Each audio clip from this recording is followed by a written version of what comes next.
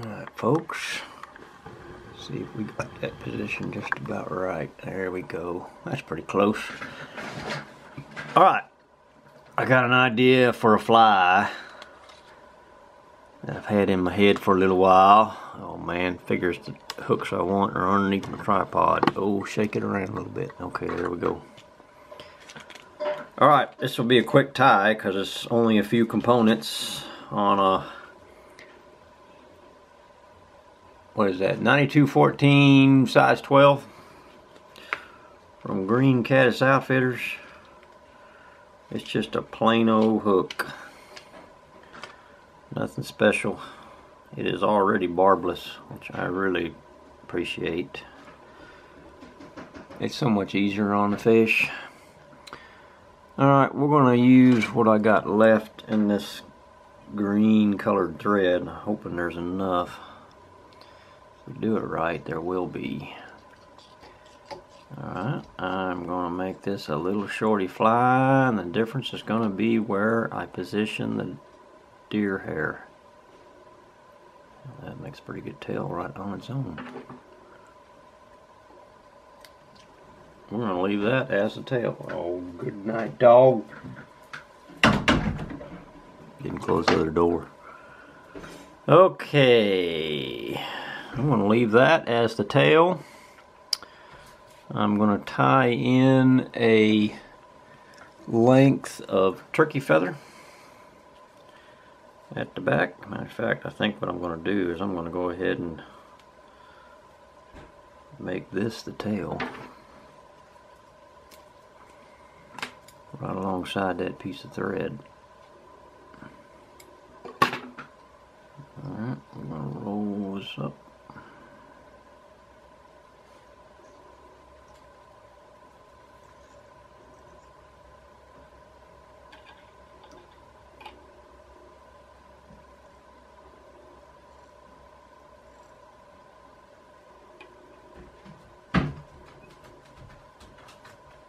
There we go. Run this back. Tie it in. Run it forward just a little bit to right about there. Go ahead and palmer the back of this thing. Whatever you call this technique, I don't know. Oh, losing my grip losing my grip. Alright, we're going to take that, try to capture that little loose one. There we go. Alright, then I'm going put a little bit of dubbing on this. I've got just a little bit. The cat's back in here. Gotta close both doors.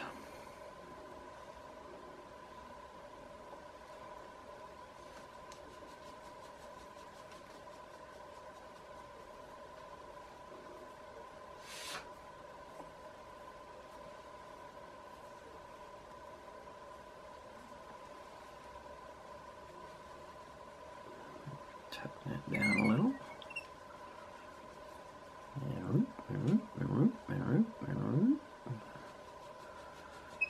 That looks good. It's probably a little bigger than what I want. So let's go right there. Pull a little bit of that out. Roll back up. Here is the PZR Resistance, so, or whatever you call that.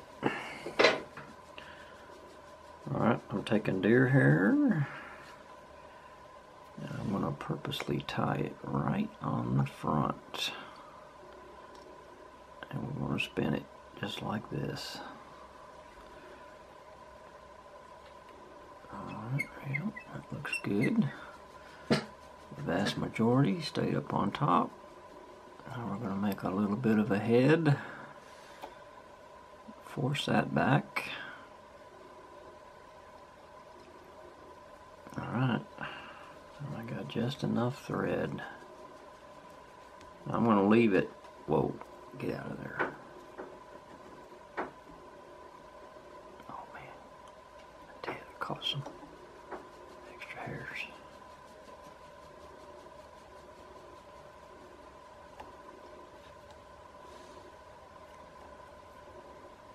Alright, there we go.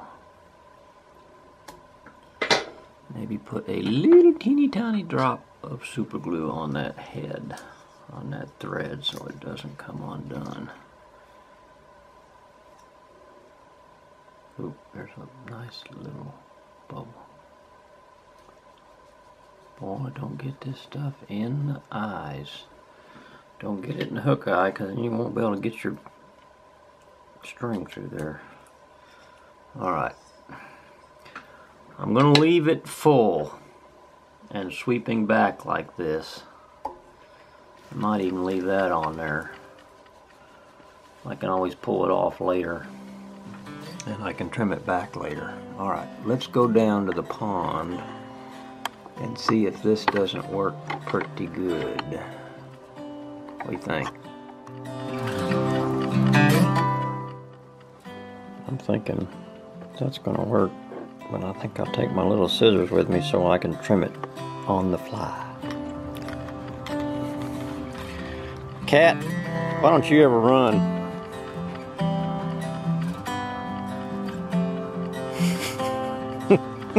that cat ain't afraid of no dog. He never runs. Just sit there and get mauled by him and he won't run. Alright, here we go. Let me get my fly rod and then we'll go on down to the pond. Got my sweetheart rod and a few extra flies, just in case this one doesn't work. That's a cat for you. He said, that's far enough.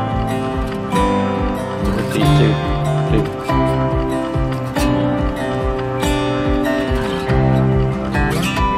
kitty cat. He must smell something. His tail's puffed up. Yeah, he smells something. Little Luna. Got all dusty. smells something. His, his tail's all puffed up. I don't know what it is. I it's a coyote or something. That cat's doing the same thing. They smell something. See how he's getting all sneaky? Well, the wind's blowing right straight down the road. Coming out of the northeast. We'll see what that does to the fishing. Get my exercise today. Not that I need a lot of exercise. I walk around the building a hundred freaking times.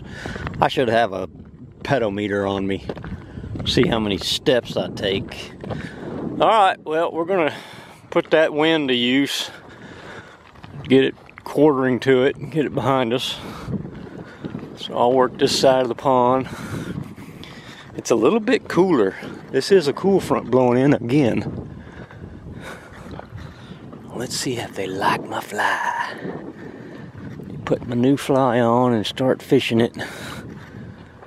See what kind of action we get. Oh, there's a fishy in the shallow water. All right, let me get rigged up. That's The one I used last time with the sweetheart rod. That worked. I caught some fish. Oh my god, this thing feels funny. Keep going between rods and this thing feels a lot like a broomstick. There's not much flex in it. Even though it is fiberglass, there's not much flex in this rod. I bet this in a four weight is a sweet combination. Boom! Whoa, look out! I launched him. I think I even disconnected him. I did. How you like that, man? Caught that fish, launched him through, he disconnected, he came unhooked, and he ended up in that pool. ah, that's a way to start a day, isn't it? Right, let's try to get something a little bigger. So I'm gonna launch him. I don't normally set that hook so violently, but matter of fact, I usually strip set. Get this weed off of here. And the weed off of here. There we go. All right, we're looking good now. This fly is way fluffy. All right, come on, do it again, fishy, fishy. Boy, that didn't take long. Had to wait long for that action, huh? All right, here we go. Come on. Let's do it again. I don't think this is actually five weight line. It's not really heavy enough for this rod. But as long as I got the wind behind me, it don't matter. I don't see any bugs yet.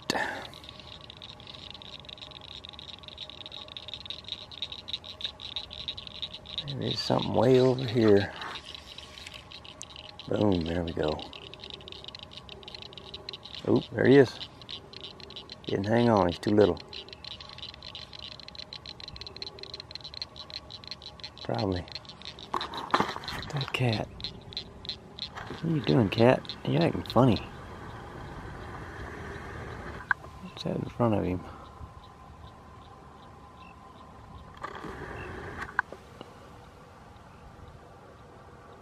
The other cat just laid down over there. it's like a. Ooh! Better watch what I'm doing. Fish are biting.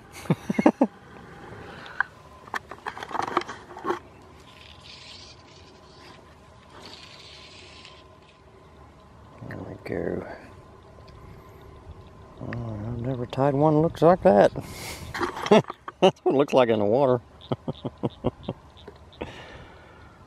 Pretty cool. Gizmo. You on the prowl, kitty kitty. You on the prowl. there we go. Had one suck it in. Now he's down in the weeds. Well, that's big, decent sunfish, I think. Pulling hard. Of course, hard, part of that's hard to tell when you're stuck in the weeds. That's a good one. That's a good fish. Covered in weeds. Nice one.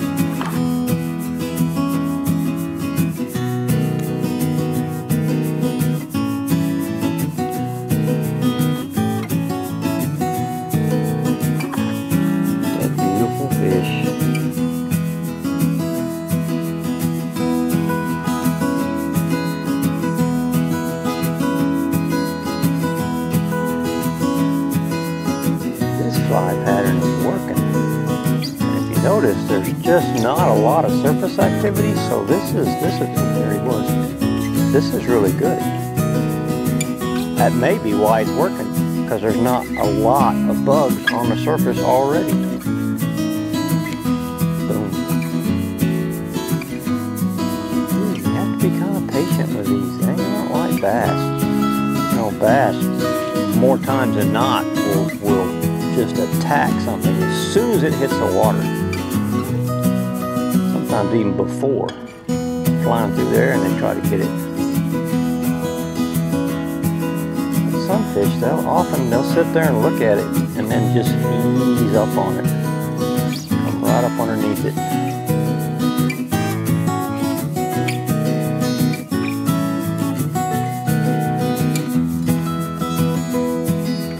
Got an audience. Somewhat disinterested audience. Had a nice sized bass swim off with the fly. I didn't even realize it. And when I pulled it, it came out of his mouth. That was a nice sized bass. For this pond, anyway. There you go. Another sunfish, probably a green sunfish, maybe. Or another bluegill right by the dock. No, Lucky. Don't, don't, don't. That dog would love to eat this fish. Nope. You don't understand no, do you? Look at that. You ever seen a dog more focused? Poor fish. Don't worry. I just want to see you. And then take your picture. Goodbye. Thanks for coming. I bet there's another one. Right by the pond, right by the dock. Put it out there and let it sink a little bit, let it sit a little while. Have to watch your line because you're certainly not going to see the fish. There we go. There's another fish. Getting bigger as I pull him in. Oh, he's just a decent one. He's a decent fish. Oh, early release. On patrol or parole, but an early release program. All right, here we go. Let's get back out there. I bet there's another one. Still not seeing any bugs. Getting real close to that magic time. It is cooler. It, it's probably about 70, maybe a little cooler. Feels great. It feels very nice. if you can see that or not, but there's probably 10, 12, 13, 14 bluegill sucking in my fly but not taking it. wow. Easy funny. I need to get a underwater camera so you can see those fish. I mean, there's a lot of sunfish around this dock. That's good to know. I mean, I'm, I'm gonna go fish the rest of the pond, but I can always cast back to this thing. They seem to like it when it first hits the water. If you can get more than a couple of them to take a run at it, you'll get one of them. That competition thing kicks in. All right, well, let's, let's walk the rest of the shore around the way.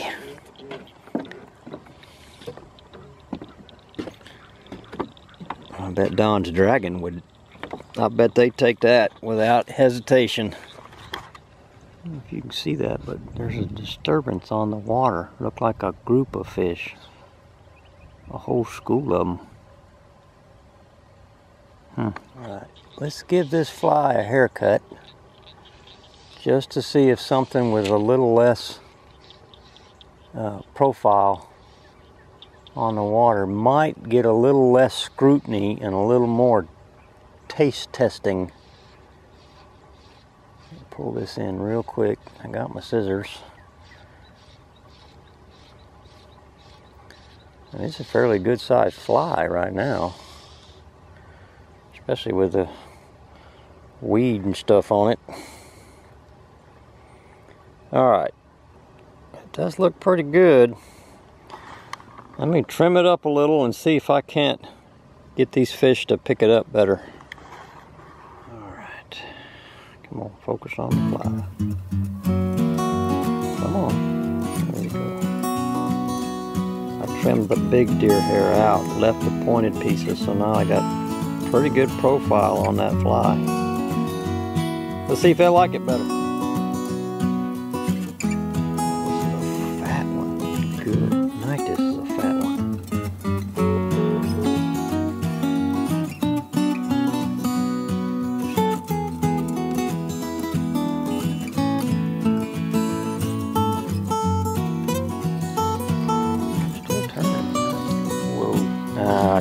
That's enough. That's enough. Mess up a cast. Didn't keep it up out of the dirt behind me. I did pretty well. That was quite a few fish. And a couple of really nice ones. There we go. Kitty, kitty, kitty, kitty. Come on, kitties. Let's go. Oh, back to the house. And probably back to work lovely. Oh, so lovely. If I had blazing fast internet out here, I could probably do some things remotely, but ain't no telling. There ain't no telling.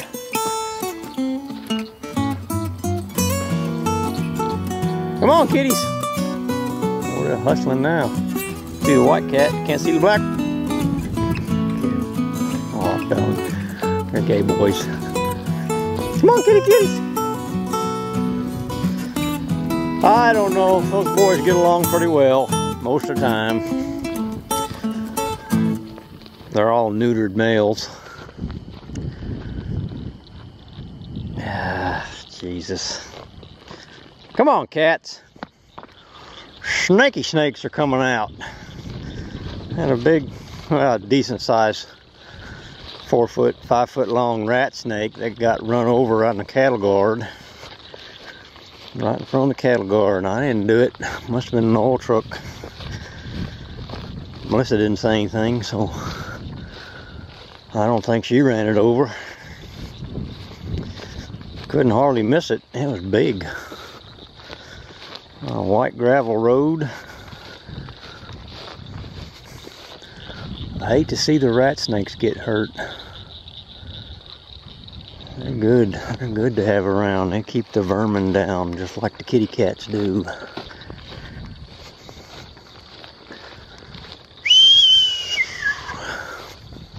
I want to tell you about snakes, and that's a copperhead.